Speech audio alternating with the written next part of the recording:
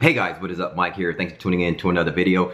In this video, I'm gonna give you my advice on how to start your new job like a rock star. Or, in fact, this is helpful for if you have a current job, but you want to take yourself to another level. You wanna be seen as a rock star. You wanna be seen as a linchpin. You wanna be highly valued in your organization. These tips should be helpful for anyone in that, you know, that type of thinking.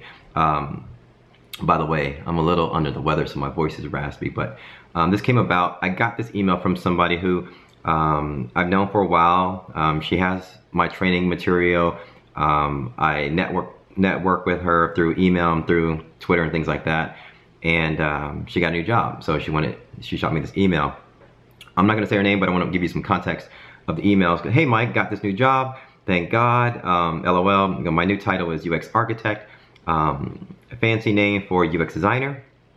I get that. Um, I had to do a 15 minute presentation. Guess they wanted to see how good of a storyteller I was. Um, I watched lots of your videos as a refresher. Anywho, my question is how do you start your new job, your new UX jobs kicking butt straight out the gate?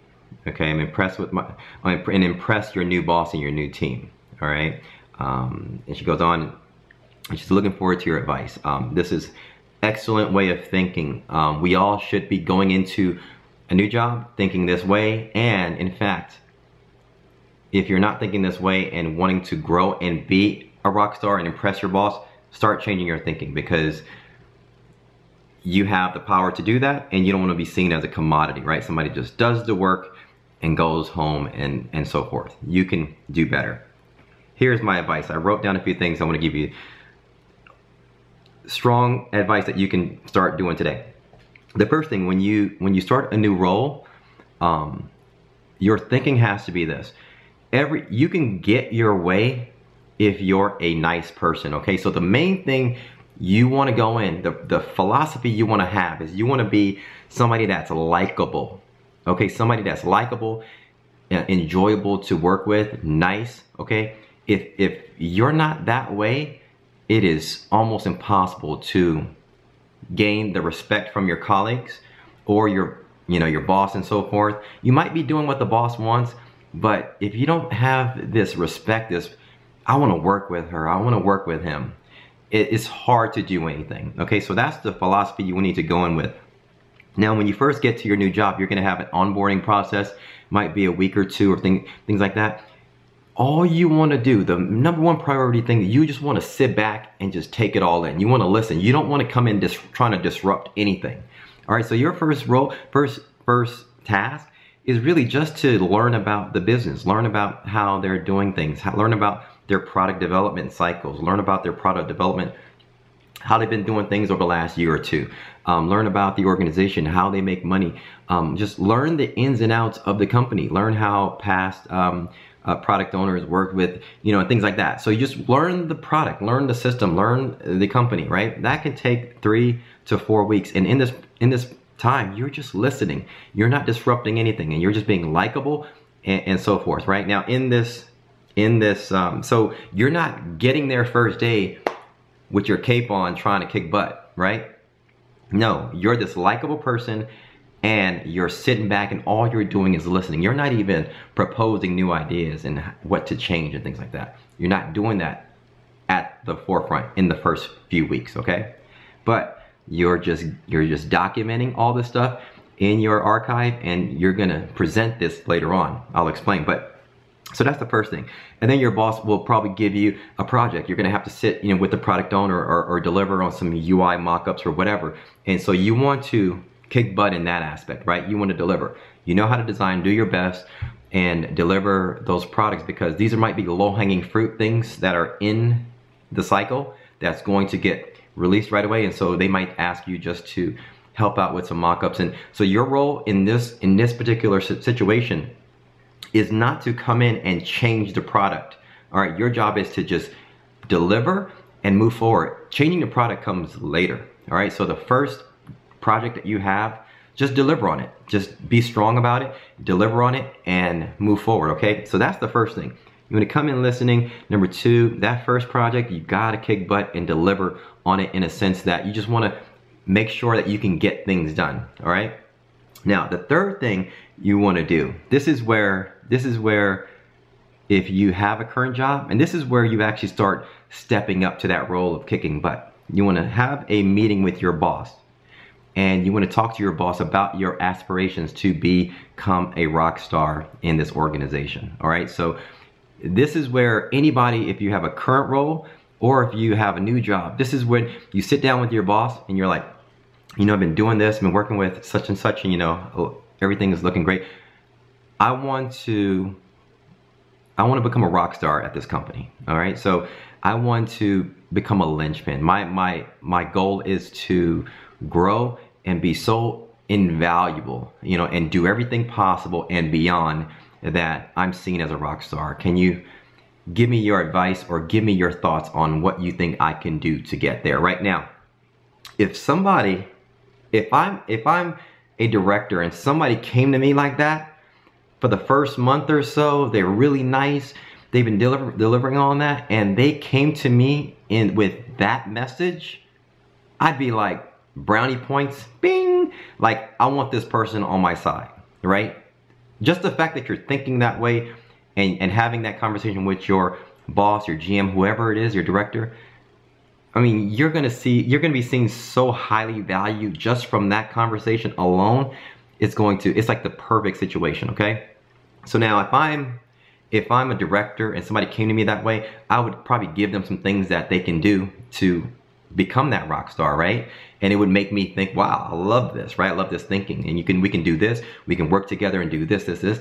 So what you do is you you take your the list and the advice that your boss gives you and you want to commit to that. All right? And so what I mean is you want to commit and go hard at it, right? So if they want you to be um, and they want you to be to set up meetings and, and, and present different ideas and things, you commit to that and you go for it, right? So you go back home over the weekend and you start plotting and planning on how you can deliver on what your boss, the list that your boss gave you. All right, so that's that's the if you can do that, then you will already have brownie points and um, you'll be on your way. Now, here's what you do. So you you commit and you deliver on the list and the things that your boss and you yourself talked about.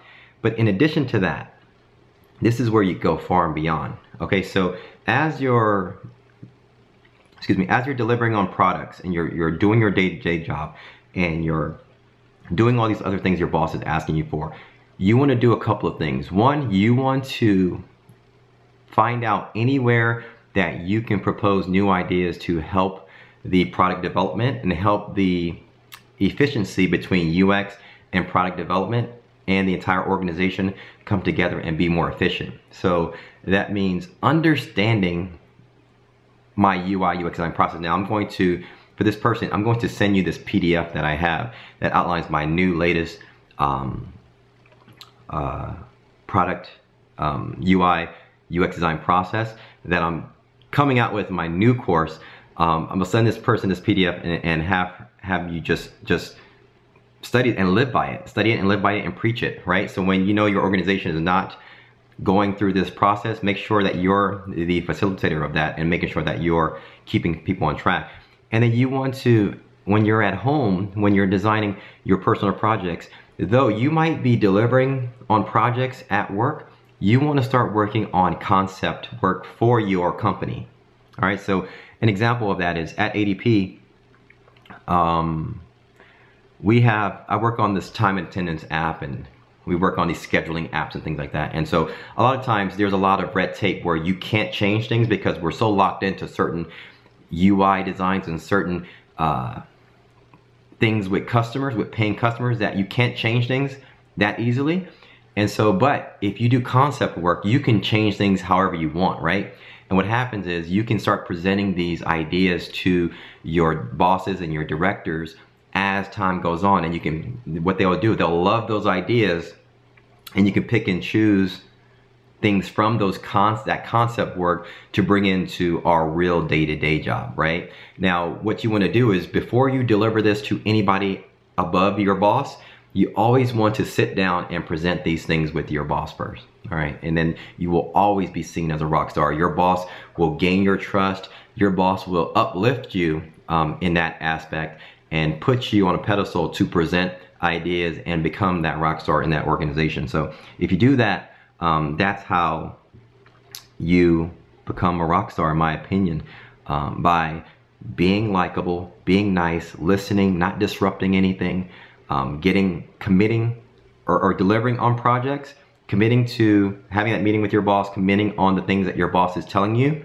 and, and knocking those out of the park, and um, presenting new ideas. Um, you don't have to be this rah rah person with this tough attitude and things coming in. We had a rock star. I, I knew she was a rock star, but she left the company after a year because ADP just wasn't a fit for her. But she came in quiet. But when she very quiet um, UX designer and, and we got along perfectly. But when she delivered on a project, it was like, whoa. And she presented her thoughts behind how she came up with these ideas and the documentation that she kept and all those things. It was like, this person was invaluable. So we, ADP let her, let, she, it just wasn't working out. I think the distance and the commute, commu the commute and things like that and just things weren't working out. But she left the company. I, she was a rock star all right? She was highly valued and um, ADP let her slip away, but she was very quiet, but she delivered on her projects and it was like, boom, you know, it was like, so you, you don't have to be this rah rah person. I want to change this. I want to have this meeting. I want to do this process. You can be quiet, but just deliver on those things, those things that I talked about.